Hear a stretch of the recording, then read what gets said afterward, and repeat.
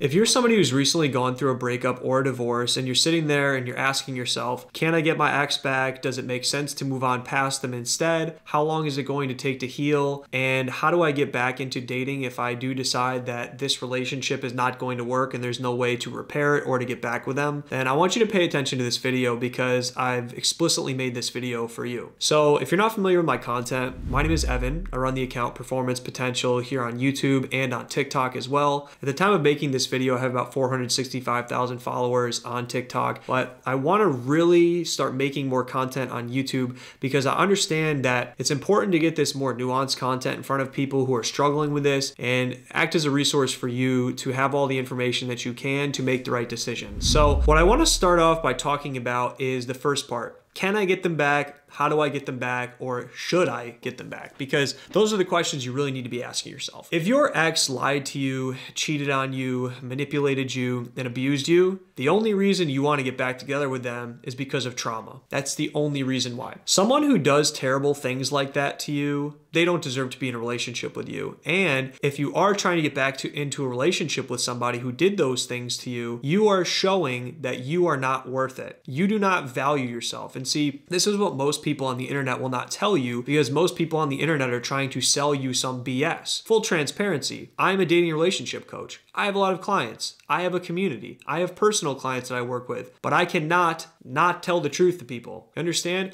I have to be straight up with people because I care more about my clients' results than I care about getting business. And that's what a lot of people on the internet will not tell you. They will say, there's a quick fix to get your ex back. Go no contact. Don't do this. Play this social media game. And I'm going to tell you right now, it's all BS. 90% of it is BS because at the end of the day, you're pursuing someone and you're chasing someone who you should not be with. I can tell you with almost 100% certainty, and I know in the back of your mind right now, you're saying, oh my God, so there's a chance that I can get back together with them and it makes sense. But yes, technically yes. But I'm telling you with like 95% certainty, getting back together with them is a bad idea. And the reason why it is a bad idea is because more often than not, they haven't changed. And more often than not, you are trying to get back into a dynamic in a relationship that is not beneficial for you.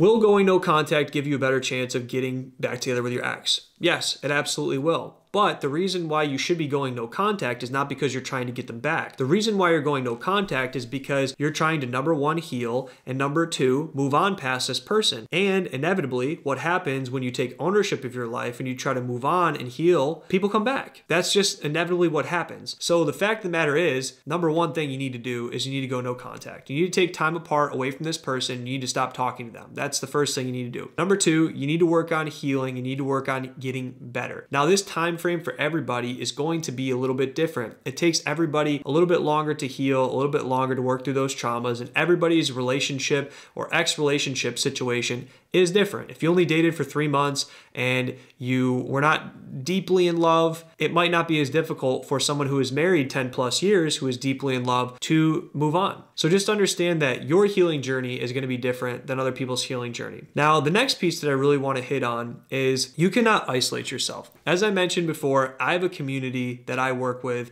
because I know that isolation is going to be the enemy of you healing because you're not talking to anybody about your problems. You're not asking for help. You're not listening to people who have gone through the same thing, who have done certain things to, to help move past these previous traumas in this bad relationship or relationships plural that you've been in in the past. Now listen, I'm a big proponent of therapy as long as the therapy is more than just talk therapy. I've been to talk therapy a lot. It's great to identify the things that have gone wrong in your past and understand that yes, they still affect you, but what it comes down to is you have information on what's gone wrong in your life, but what are you doing to actually work past it? So if you're only working with a therapist that just talks your ear off or you talk their ear off for all these sessions and you're paying them 120 to 150 dollars a session are they impacting change? Well more often than not i'm going to tell you that the answer is no because what happens is I'll get clients that'll come to me and they say, I've been in therapy for two years. I've been struggling blank, blank, and blank. And I'll say, okay, great. What outcomes have you gotten in therapy? And they really cannot quantify the outcome that they have gotten in therapy. So understand that if you've just been paying somebody $150 a week for two years and you don't feel any better, you should stop doing that. Healing is not just going and talking to somebody. It's a big part of it, but you need to have a community of people and a coach that are going to give you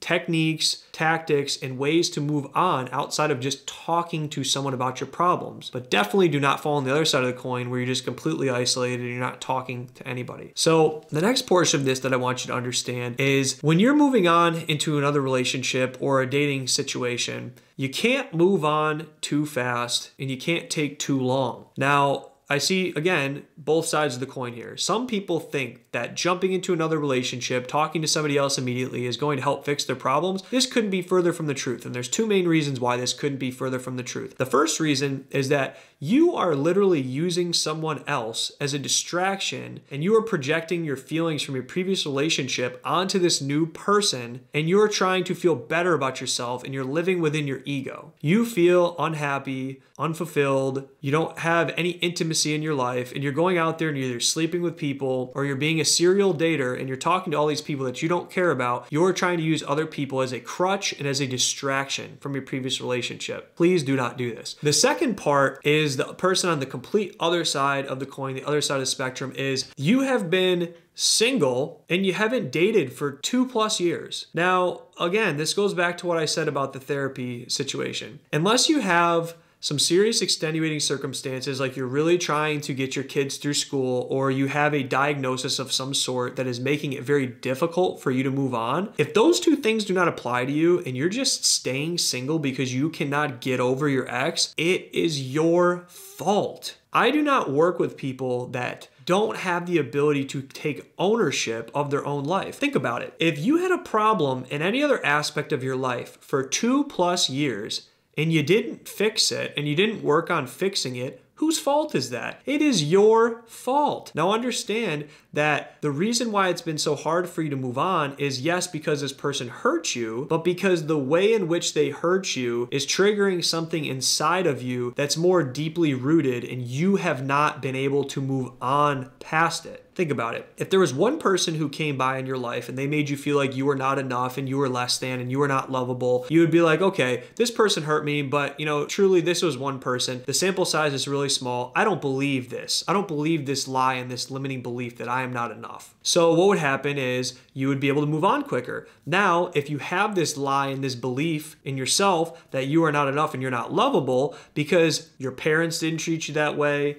your friends didn't treat you that way, all of your exes didn't treat you that way, you're starting to see that your issues are more deeply rooted than just this one relationship. So it's your job to work on that. It's your job to figure out why that is and to start to repair those things from your past. And if you haven't addressed it and you haven't worked on it, then that is your fault. I'm not saying that someone who has been harmed by other people and somebody who's had a lot of tough things happen to them in their life is their fault. It's absolutely not your fault. Not working on it is not your fault. And if you think that by avoiding other people and avoiding being vulnerable and avoiding dating in the future is going to be your best course of action because you're preventing yourself from getting hurt, that's not true. You're just practicing hyper independence, and in the long run, you're going to be lonely and you're going to be upset. So please do not be somebody who moves on like five days later, and please do not be somebody who moves on five years later. The only reason why people do that is they have bad information and they're not implementing things the right way to have success in their dating life and in their personal life.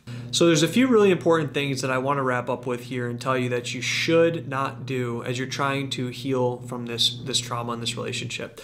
The first thing that you shouldn't do is you shouldn't check their social media.